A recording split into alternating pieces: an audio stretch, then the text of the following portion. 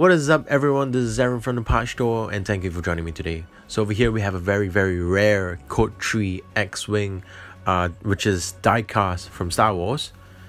I love it, the detail is amazing, look at the cockpit, it's great. All these paint applications, wow, so realistic.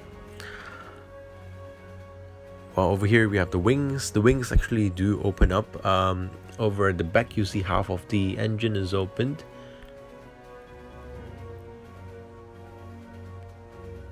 so overall this is a very rare piece um, that has gone out of production for a very long time but I managed to get my hands on some uh, extra stock from a supplier that we have um, it's great it's really heavy it's it's not something plasticky or um, like those PVC types that you find in Toys R Us and stuff.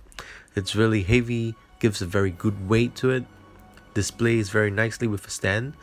And over here, uh, it's actually the Signature Series, but we don't have the Plex that come with it. So over here we have a couple of extra parts that will go together with the X-Wing. You can fit them on it. Um, that's a letter for the pilot to crawl, and this is a R2-D2. And you know, it's so detailed that um, you can actually turn its head like that. You can even almost hear R2 speaking to you already.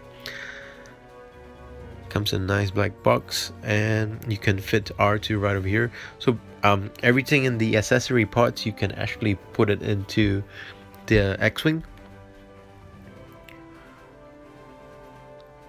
R2 fits right in. so yeah, I hope you enjoyed the video and this will now be on sale at the Pach Store. Thanks for watching guys. Have a good one.